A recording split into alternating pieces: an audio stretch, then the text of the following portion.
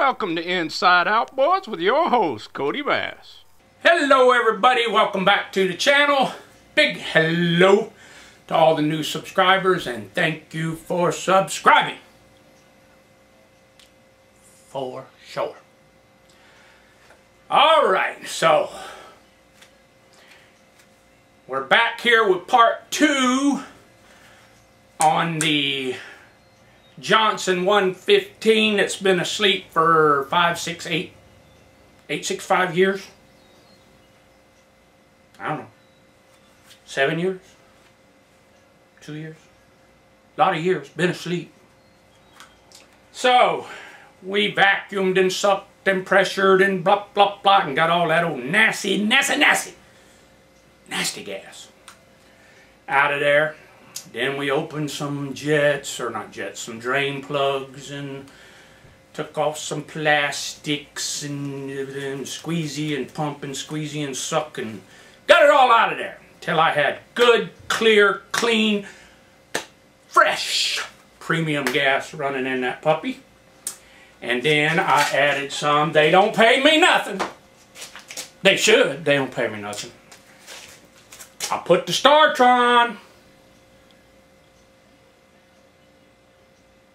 Bloop, bloop, bloop, bloop, bloop. We put some Startron in there. So, while I had the drain plugs out of the carburetor, I shot some Tri-Flow with the little plastic sticky thing. I stuck I put it in there, I put it in there, I put the Tri-Flow in there. I think it helps. So I put some of that in there and uh, then I kind of went for broke. Said, well, you know, I'm going to put it all back together, start it up, see. Hopefully there ain't a bunch of that yucky gas. Now when I uh, did squeeze the bulb and everything, and I had the filter, the, the actual sediment filter that goes into, or is that is hooked to the power head. Um, when I was squeezing the bulb, I was actually get good, clean, clear gas coming out the drain holes of the four plastic carburetors. Plastic carburetors. Yeah, that's what I said. It's all good. So, we got good gas and everything, and uh, then, then we just got to see what happens. You understand? So, then we also got back a little bit on this Merc. I took some things off and then and then. Haven't got to the carburetors yet, but we'll get there. We'll get there. So, let's take a look at this old Johnson on this beautiful Emerson boat and let's see what we got. There she is. Right there. All right. All right, if you look right here, I've got the fuel filter that goes there unhooked. And uh, I've got 10 gallons of fresh, brand new gas in the tank after I drained it. Once I put the 10 gallons of fresh gas in the tank, I hooked up my pump and pulled a vacuum on the line again until I had real good crystal clear gas coming out. So now if you look right here, I'm going to squeeze the bulb down here.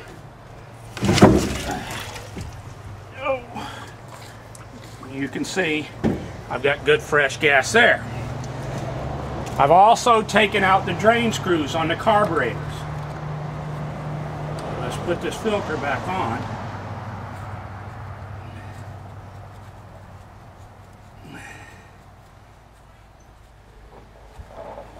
Alright. Now we should see some gas come out them carb drains. I've got rags there.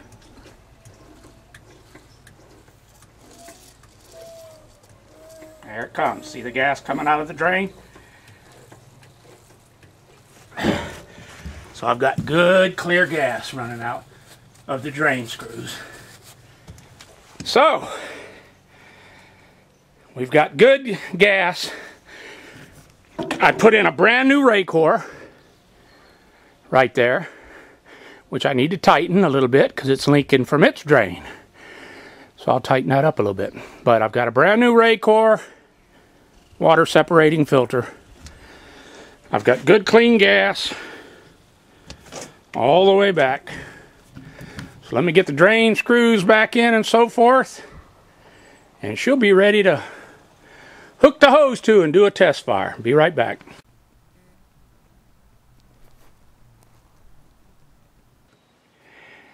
Now, you see that net right there? Yeah. Now, you might wonder, what do I do with that net? I'll show you. Here's what we do with those nets. Oh yeah. That's what we do. Those are fresh caught just a little while ago. Sockeye salmon, or otherwise known as red salmon. So I got to get busy filleting so I can get them in the brine. And then I get them in my smoker. I might have a steak or two for for dinner. But yeah, those are some pretty sockeye. Fresh Alaskan salmon. Wild caught. Ain't no farm raised up in here. Unless you call the Pacific Ocean. The Pacific Ocean. A farm. Because that's where they came from. Just down the road from my backyard. Yummy. So I got to get busy filleting. I don't think you want to see me fillet a fish. But I'll show you them as I prepare them and everything and get them ready for the smoker and put them in my dry box and so forth. Yummy, yummy. Okay, I got my salmon in my dryer box. These are sockeye salmon that I showed you. That's a couple of them I filleted. And if you look, you'll see a little bit of smoke going there. That's not to smoke the fish, that's just to keep the flies from around here. If you don't put a little smoke like that wisping in your dryer box, them flies will literally land all over that screen. They can't get to the fish. It's screened on both sides. Um, but I don't like them buzzing around when I'm cleaning fish. And I find if I light me just a little tray smoke right there like that with a couple of, I, I got like three little charcoal briquettes and then I just put some wood chips on it and it wafts around the, the drying box and keeps them flies away. But now what we're fixing to get busy doing. What is it? Well, yeah. That's what is it. That's what is it.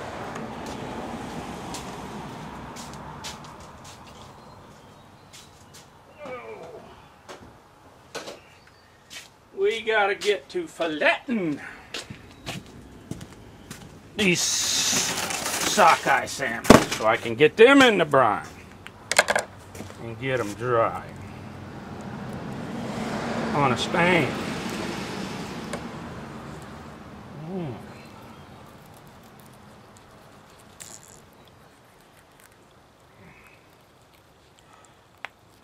Okay.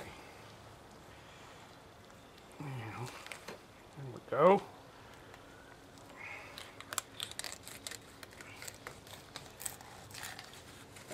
Backbone. Flip it over. Ain't that a pretty fillet?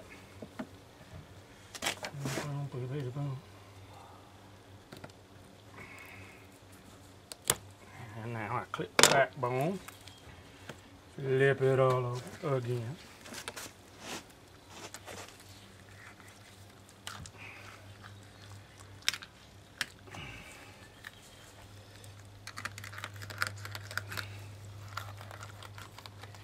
Right down that backbone again.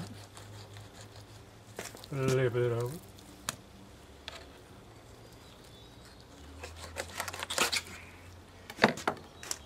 and get rid of that. I just thought I'd show me doing a couple of these. And that's what you end up with. And then I'll soak these in a brine. See? And that makes a beautiful, once I hang them in the rack like those ones there. And let them dry for a bit.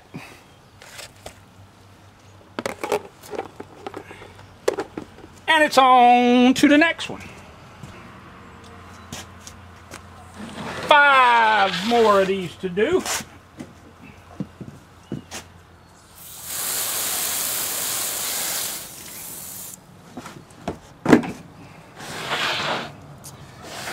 So,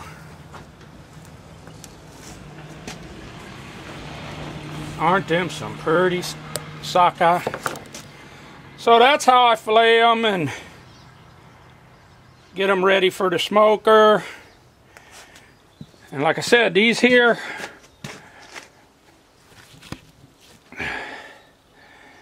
these here aren't smoking. That little bit of smoke is just a tray of smoke to keep the flies away from my operaciones.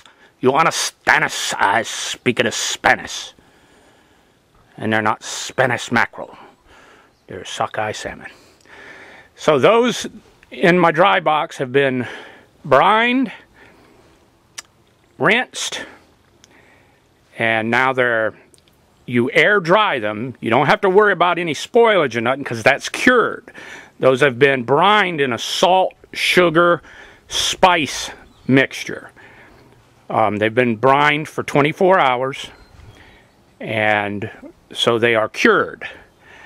And then you want to let them dry and I have a fan here that I can put on them and uh, help that. But a pretty sunny day with a little breeze is the best uh, best way to to dry these things. So that's what I'm doing after they dry for about four hours, they'll get a, a tacky outer surface called a pellicle. And that's when they're ready to go into the smoker. And I'll smoke them four to six hours.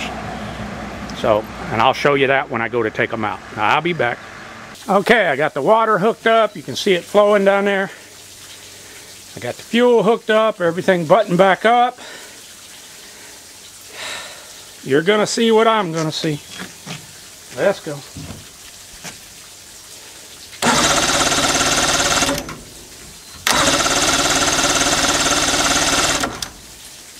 Squeeze the bulbs.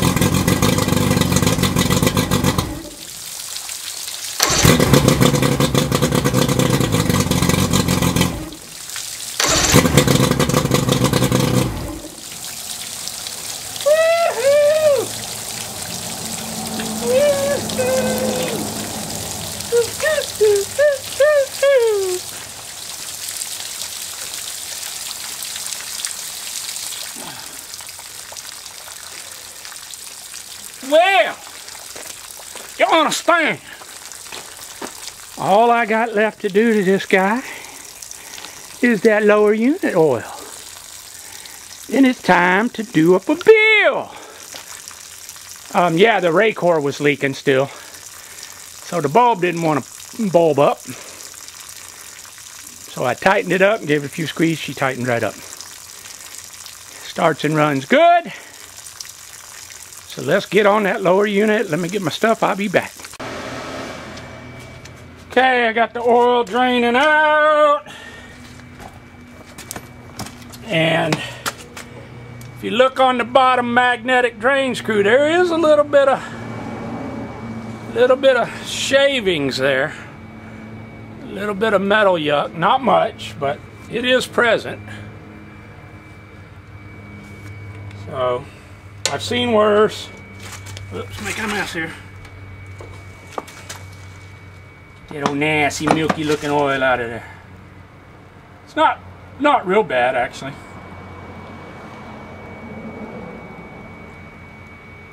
But the owner said he wanted change, so the owner get it. Change. Yeah, understand So we get it out of there.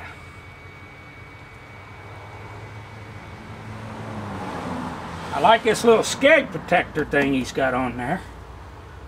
Um, apparently he broke off the aluminum skeg and then he put this stainless steel one on which is good. Most people wouldn't. The propellers yeah, got a little bit of dings. You got a little ding, little dingy dingy lingy lingies. I'll point that out to the owner. It's a little warbly. It's not good for your lower inner seal there in your O-ring little bit of vibration.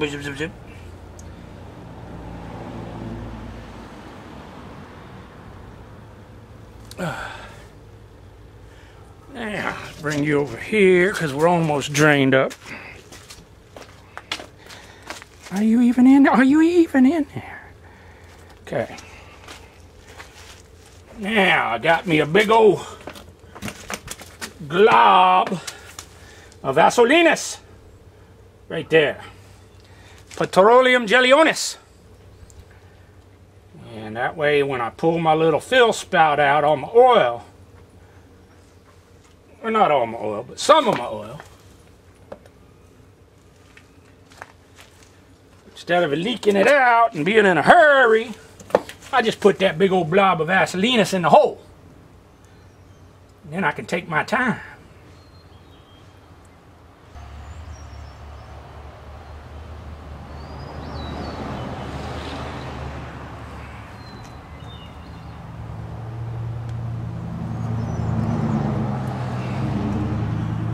Holding quite a bit. There it comes. Now, after you get a little bit coming out, that pretty clean oil, give it one or two pumps real slow to get them air bubulets out of there. That's what I like to do. Just real slow. See that bubble? Watch them. See that bubble? See that bubble? Bubble? Bubble? Bubble? Bubble? There we go. Now we're running solid.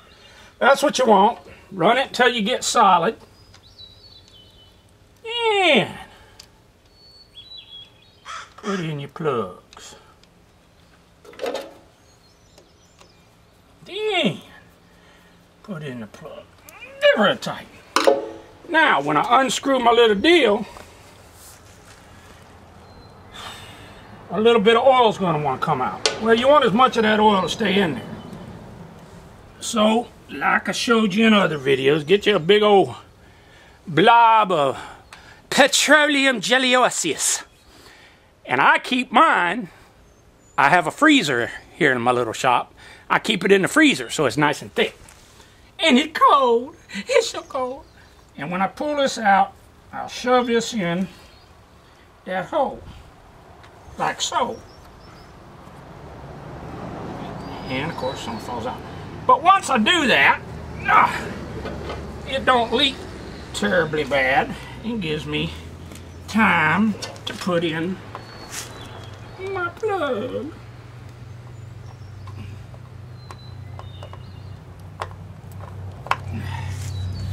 There we go. I'm gonna tilt it back up a little bit so I can see what I do.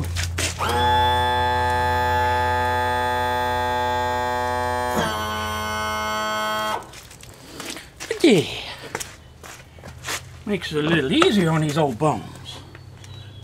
I'm in there crooked, I think. There we go. Get in there right. Get in there right. Get in there right. You want to get it in there right. Give it a good snuggie.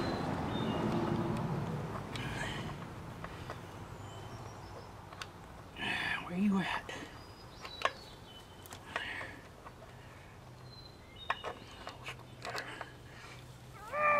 There we go. No.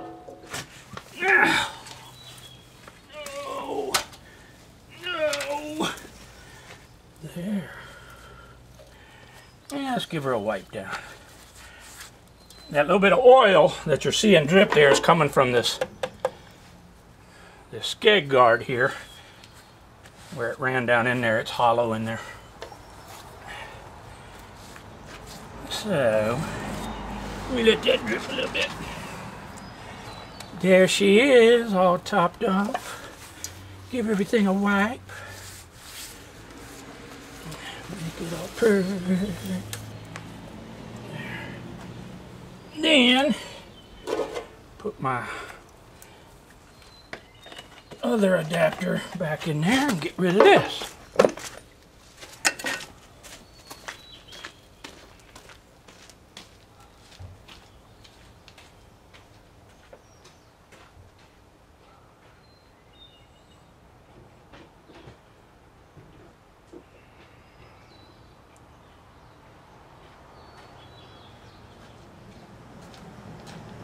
Now, people, people say, Hey, Cody Bass, what you gonna do with all that old motor oil? What you do with all that old nasty gas come out of that boat? EPA gonna get you. We gonna call the EPA. You are polluting. You are polluting. See them Jerry jugs? See them all? Look at them all. There's three. There's four. There's five. Full of old gas. Yeah. And I got some old oil too now. What am I going to do with all that? That old nasty oil and that old nasty gas. Well, pretty simple. That oil I put into jerry jugs as well. And I take that to my friend Tom, who is one of the best machinists and fabricators I've ever met. And he'll take that old oil and he takes it all from me. I take it to him in five gallon jugs whenever I get five gallons. Um, I'll run it down to him. He lives about two blocks from me. And he has a waste oil burner and he has some kind of centrifuge thing. I don't know what it is. He got it. And he dumps that old nasty oil in there and does something to it. Spins it, vibrates it. I don't know what he does with it. But he'll take it from me and he heats his house with it. Now that old gas, I'll save probably two of those little jerry cans you saw. I'll save two of those for parts cleaner. And I might even save that one five gallon jug just to see if it'll run my old mower. And if it will, I'll burn that up through the mower. A mower is not the space shuttle you do understand us. If it runs overly crappy, I won't run no more of it. But we have two stations, one at the Harbor Master and one out at the uh, landfill, that for a very reasonable price will take all that old gas. Um, they charge a little fee, but it's not much. It's very reasonable. Um, and of course, I will pass that on how much ever I take to one of the uh, refuse centers. I will take it and I will bring the receipt back and I will add it to the bill to pass on to the owner of this vessel. So, that's what I do with all the old oil and gas. Um, none of it goes on the ground, none of it, well, other than what I spill. But I mean, none of it uh, is intentionally put on in the environment. Um, we're lucky that we have, like I said, two stations, and they're always they're they're the landfill one is open to five every day, including Saturday, and the Harbor Master one is open 24/7, seven days a week. So we're lucky in that regard, and it's not very expensive at all. I can take every bit of this gas that I got out of this old boat down there, and I bet it wouldn't be eight bucks. And you know, that that's it'll be it'll be around that, but it'll be ten bucks or less. So uh, really good deal, and really good way to take care of the old gas and so forth. So that's about a wrap on this guy here.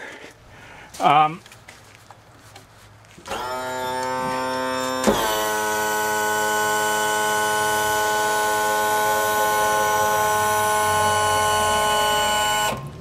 put the bonnet on it and give it one more testoritas.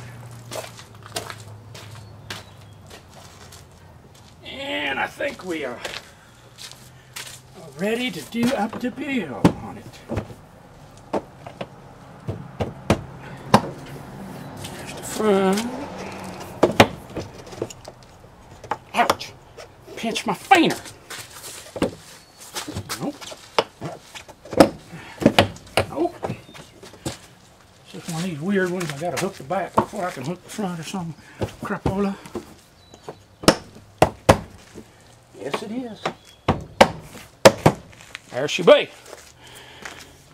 Oh.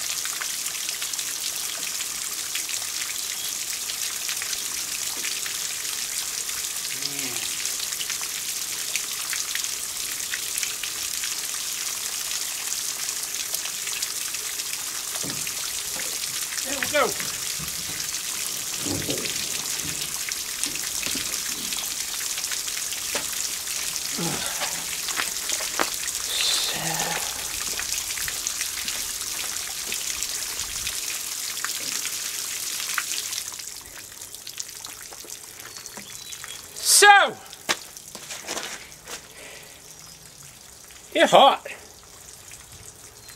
by my standards. I'm guessing 71 degrees. I know where a lot of you folks from. That's chilly. But it's sunny, it's pretty. And the Emerson boat is good to go and ready to get out there fishing. Like I said, one more last look at this beautiful craft. Just a well-built, well-built skiff. I mean, nice trailer, nice king saltwater. Beautiful. Motor seems to be running good. Fresh lower unit oil, fresh spark plugs, fresh gas, vacuumed and blown fuel lines, clean fuel filters, um, and whatever else I did to it, I can't even remember. But uh, time to do up a bill, add up all them parts, call the owner and say, come get your beautiful boat. Yep, I really like it. Nice boat. So, now you might say, well, what about that Mercury? Oh, you mean this Mercury? Yeah, I know it got a little dark in here. Let's see if I put some light on the situation. That don't help much, but as you can see, I got all the electric choke and all this and, and, and, and got it out of my way. And there's my two carbonators. And if you could smell what I smell right now, you'd be like! Them carbonators need some cleaning. Got the little plastic mercury Venturi turbine thing in there. Yeah. But yeah, they stink. I mean, you can smell the, the, the old gas in that. So I can't wait to get them apart. But first I'm going to take a break and refreshing up my big jug iced tea because I just swallowed and swilled that one down. So I'm going to take a break and then we're going to come back and take them carbonators off. After we take them old carbonators off, we're going to look inside, clean them up, and put them back together. I'll be right back. You see that smoker? She's a billowing. I got some salmon in there, some sockeye. And I'm smoking her at about a hundred degrees. You say, how you know her temperature? I'll show you. See right there? She's just coming up just about 90, 80, 90, so she'll get up to about a 100 in my top box there. in the old Masters built. Now in the bottom box, in the bottom Masterbuilt, that's where my heat source is. It's just charcoal briquettes and wood chips and chunks of wood. I've got alder, apple, and cherry going. And then in the top box, that's where the salmon is. And it'll only get up to about depending on which control disk I use and I'll show you them later it'll only get up to about 120 or so maybe on a hot day 140 but it's just perfect for smoking salmon. Cured salmon. These were two old Masterbuilt electric smokers that a friend of mine saw by a dumpster and he thought, and I told him I was looking for something like these, insulated. And he brought me both of them, so I flipped one upside down so that the um, chimney pipes would line up. And then I connected the two together with a three inch piece of stovepipe, bottom to top. And then I have these discs that can regulate how much smoke I want in the top box or heat. And if I'm doing something like a brisket or something, I'll put the meat right down there in the bottom box, which will get about to 250, 275, and slow roast me a brisket or whatnot. But right now I'm doing salmon, and I want the temperature to stay down until they uptake some good smoke. And then if I want to heat them on up, I just shift them from the top box. I take the whole rack and slide it into the heat box. But this thing's worked out really good. So when that salmon gets done, I'll pull it out of there and give you guys a look-see. I'll be back. All right, so We got the Johnson 115 all squared away for the owner and they have come picked it up. And so we are back on the Mercury 50 three cylinder. I did get the carburetors off. Um, so there they are. Let me get a squig of my iced tea. That good. Alright, so there are the twins. So we're gonna open them up and see what we find. Them old stinky, sticky, nasty, nasty carburetors. And there's the intakes and the reed share system on that thing. So we got that apart. I don't want to rush this motor. Um, it's really dirty, so even before I get on the carburetors, I'm going to do some cleaning on it. It's sit out there in a dusty parking lot hanging from the back of a skiff. Neglected and abused. Look at all that dust on there. You see that? Look at that. See that? See that? Yeah. Look at all that. Just dusty, dirty, so I need to get my air compressor lid off, blow that off. And that's noisy, so I ain't going to film that. But just give it a good cleaning with a spritz bottle, maybe a little old gas here and there. and Get her all cleaned up. She dirty everywhere. Here, there, everywhere is dirty.